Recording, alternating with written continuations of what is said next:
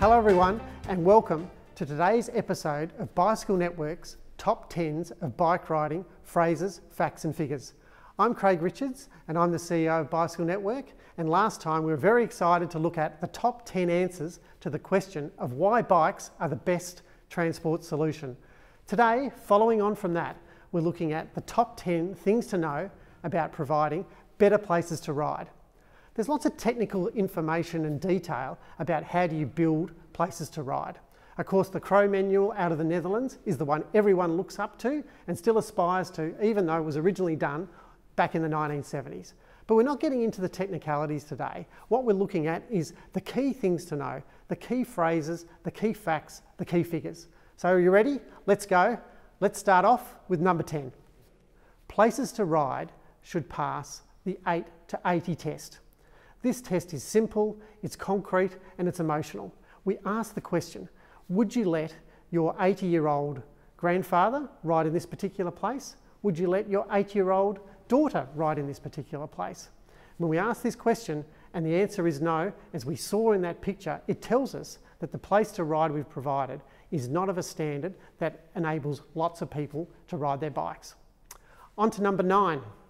Your bike commute is only as good as its worst piece of infrastructure. We hear the story so often of people who are riding along and suddenly the bike lane disappears. Now that's fine if you're on the strong and the fearless category and you're happy to ride your bike and occasionally move into the situation where you're heavily um, interacting with vehicles. But for a lot of people it's not and it stops people riding. It's so important that when we build places to ride, you can ride from end to end in comfort. On to number eight. The essence of bike riding is convenience. People won't park and walk or go out of their way. Often when we talk to people who are building places to ride and they say they're just going to have to do it, and we say, look, you've got to be able to get from point A to point B. Bike riders, it's a surprise to many people, we're kind of lazy. We just want to be able to go straight from where we want to get to A to B. We don't want to have to deviate around. We don't want to have to park our bike a long way away. But when people provide those sorts of facilities, we just know bike riders don't use them. On to number seven. Keep it simple unless it's big, bold and beautiful. I love this picture. It's from Limburg in Belgium where they built this 200 metre incredible bike lane through a lake. They've done something bold, they've done something beautiful, and you can just see the joy on people's faces as they ride through there. But most of the time, we don't need incredibly difficult or innovative facilities. Stick to the basics, stick to the manuals, and build the things that we know work. Number six, don't let perfect get in the way of better. Look at this bike lane here. It's not the best bike lane, it's not what we'd call gold standard, but it's still pretty good. It's better than nothing. And as bike riders, we always look to have the best we possibly can. But we do know at times we just have to say, hey, this is better than it was.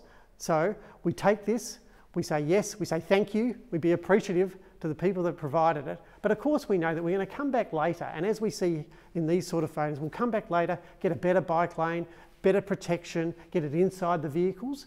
But it, sometimes we have to understand this is a game of progression.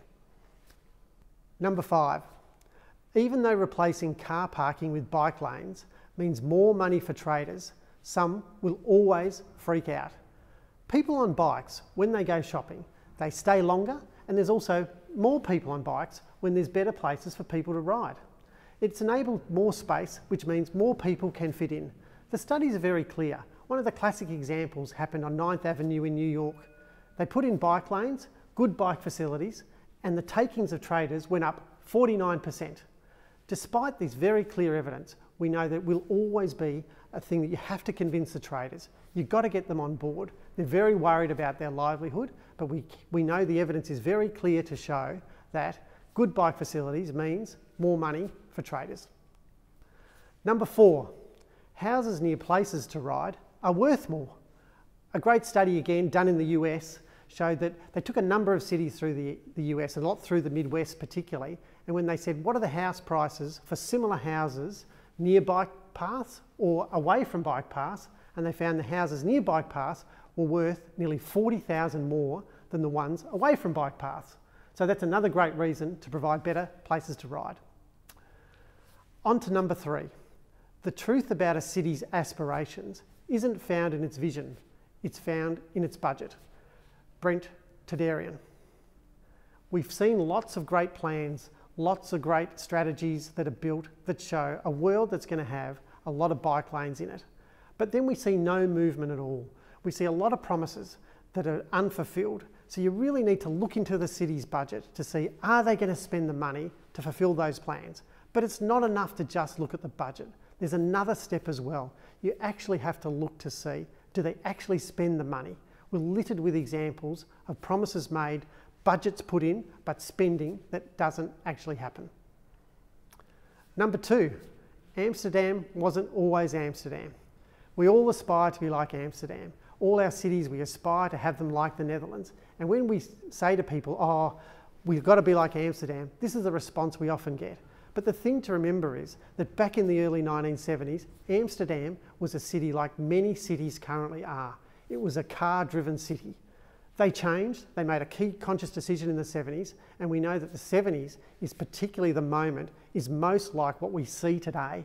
Back in the 70s, we had the oil crisis, we also had a social movement happening, and some cities, and Amsterdam was one, seized on it, and others, and we saw that in the US cities where their bike riding numbers went up and then they quickly went back down. So today is our chance.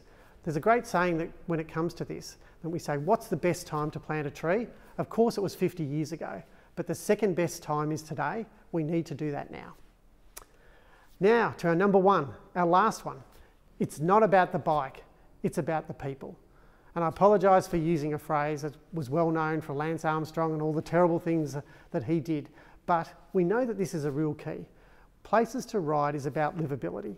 There's lots of components to that. If we just make it about the bike, we can end up in this bike versus car thing, which is very unproductive. What we should be saying is that bike places, places for people to ride, are one of the key components of livable places that we all need and all aspire to. So that brings us to the end of today's top 10, where we looked at the things to know about providing better places to ride.